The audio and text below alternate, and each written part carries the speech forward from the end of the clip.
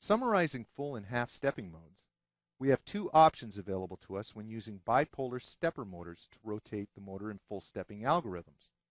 One phase on energizes one winding at a time, while two phase on energizes two windings at once.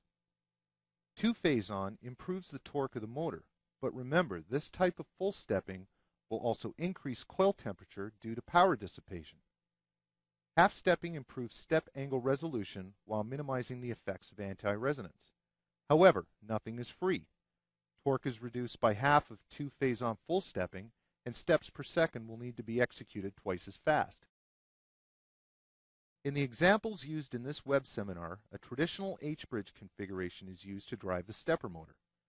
You could build your own using some power transistors or utilize one of the many IC packages available on the market.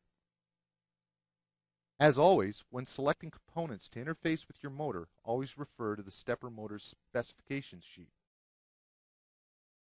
For more information on topics covered in this web seminar, or for further information, please refer to application notes listed above.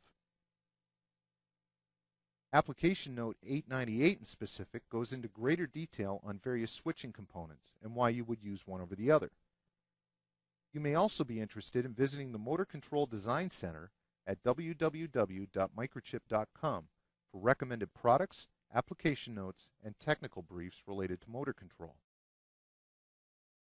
My name is Mark McComb, and I thank you for viewing this web seminar.